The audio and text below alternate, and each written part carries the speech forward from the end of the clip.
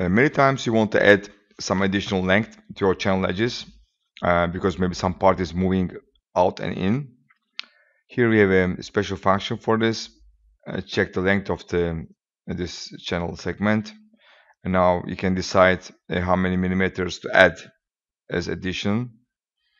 And once you click uh, on a position um, a feedback part will be shown. You can decide uh, where it will be the edit loop you can uh, define the uh, the radius of the loop. If it gets smaller you will get more loops. And if you get bigger only one only one loop will be. As you see you know it changes.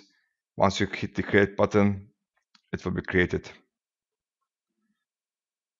So when you see now you see that a loop has been added